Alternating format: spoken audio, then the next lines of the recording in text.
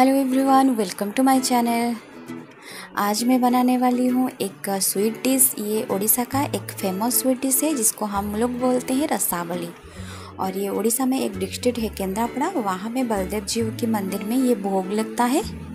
और ये देखिए कितना सॉफ्ट और स्पंजी है। खाने में इतनी बहुत ही टेस्टी होता है।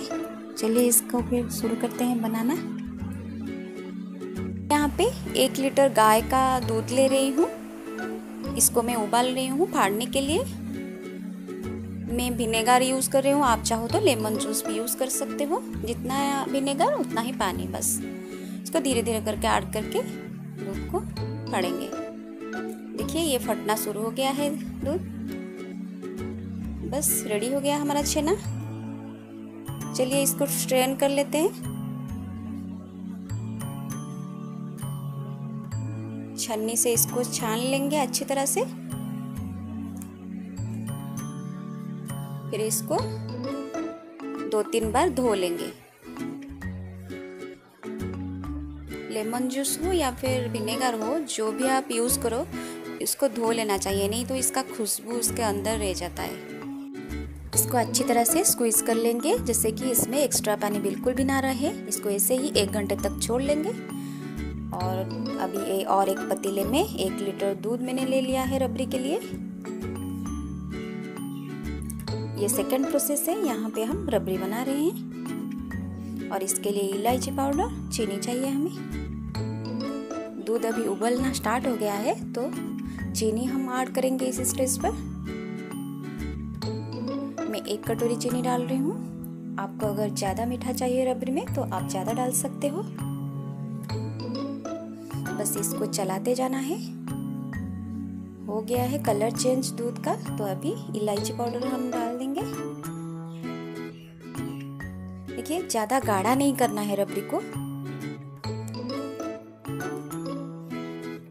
क्योंकि छेना बस जब इसमें जाएगा ना तो वो भी ऑब्ज़र्व करने के लिए ये थोड़ा सा पतला रहना चाहिए। अभी थर्ड प्रोसेस यहाँ पे हम छेना का जो डो होता है ना, वो बनाएँगे सॉफ्ट डो इसमें बिल्कुल भी पानी नहीं है, ये पूरा सूखा हुआ है। इसका गुठलियाँ हाथ से ही तोड़ देंगे।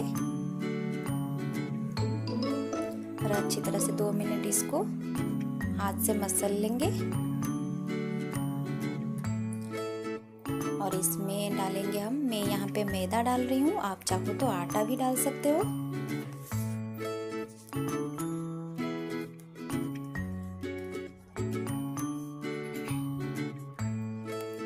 एक चम्मच मैदा डाला, एक चम्मच चीनी, एक चम्मच सूजी डालना है।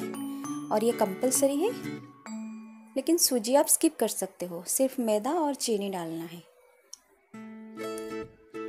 या फिर आटा, चीनी। पाम की मदद से इसको अच्छी तरह से गूंद लेंगे। ये बहुत जल्दी बन जाता है। करीबन आठ नौ मिनट में ये सॉफ्ट बन जाता है।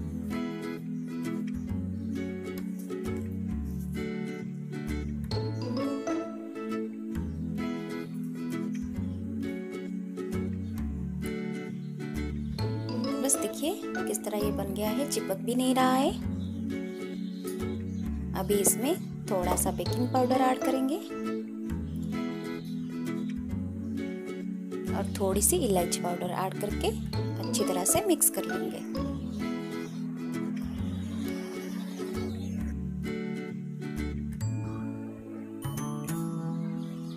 देखिए, हो गया। देखने में ही पता चल रहा है कि कितना सॉफ्ट बना है डो हो गया अभी इसको। हम छेना बॉल्स बनाएँगे इस तरह, हाथ से ही फ्लैटन करके। एक लीटर दूध में करीबन 12 से 13 आ जाएँगे छे रसावली अगर इस तरह छोटे, मीडियम साइज़ का आप करो तो। और बड़ा हो तो छः से सात आएगा।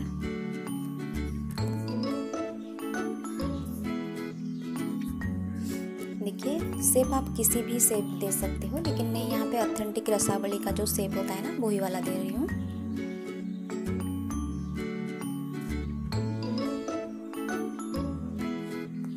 बेसिकली सेब भी रिप्रेजेंट करता है ना स्वीट डिश को। तो ये रसावली का ऑथेंटिक सेब ही है। इस तरह हाथ से फ्लैटन करके बीच में से थोड़ी सी एक होल जैसा बना के इसको रेडी कर लेंगे सब।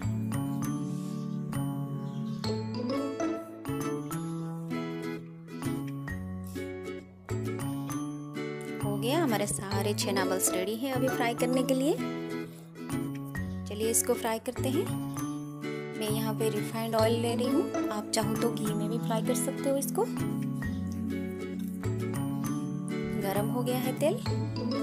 अभी एक एक करके छेना बल्स डाल लेंगे इसमें।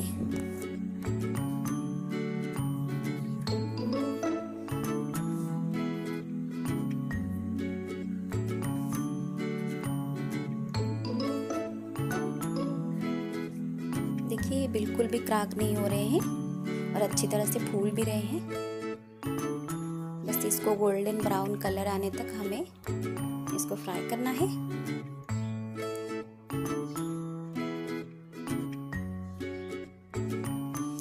सबको पूरी जगन्नाथ मंदिर पता ही होगा, वहाँ का छप्पन भोग में से ये एक भोग है।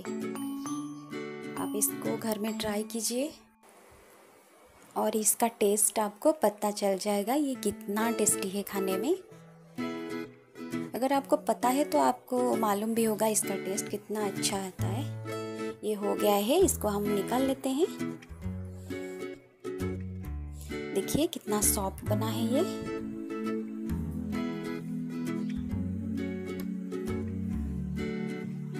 अभी जो रबड़ी हमने तैयार किया था, उसको थोड़ी सी गरम करके, थोड़ा सा ही गरम करके फिर डाल देंगे चना बस जो हमने फ्राई करके रखा था। वो रबड़ी में जाते ही नरम होना स्टार्ट हो जाएगा। बस एक उबाल आने तक इसको कुक करना है। देखिए, ये सॉफ्ट होना शुरू हो गया है अभी। बस उबाल आ गया।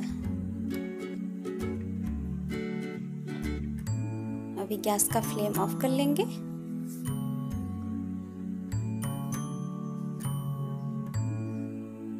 थोड़ी सी इलायची पाउडर डाल के इसको हम कवर करके रख देंगे।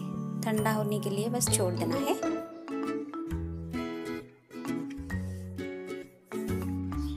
देख के ही मुँह में पानी आ रहा है ना ये?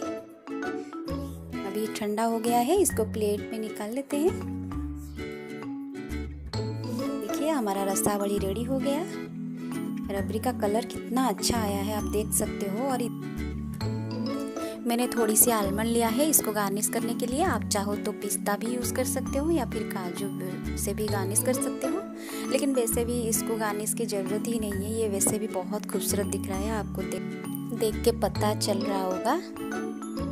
देखिए, कितना यम्मी दिख रहा है, आप इसको घर में ट्राई कीजिए। और मेरे वीडियो को लाइक कीजिए शेयर कीजिए सब्सक्राइब कीजिए मेरे चैनल को। तो फिर मिलते हैं अगली रेसिपी में। Thank you for watching